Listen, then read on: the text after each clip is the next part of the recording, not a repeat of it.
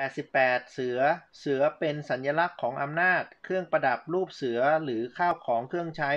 ที่เป็นรูปเสือนั้นมีความหมายเป็นมงคลช่วยเสริมวาสนา เสือจะส่งผลให้ดวงชะตา กล้าแข็งมีอำนาจ และเกียรติศักดิ์ นอกจากนั้นจะช่วยลดและทำให้สมดุล ชีวิตการงานคุณก้าวหน้าประสบความสำเร็จได้โชคลาภจากเพศตรงข้าม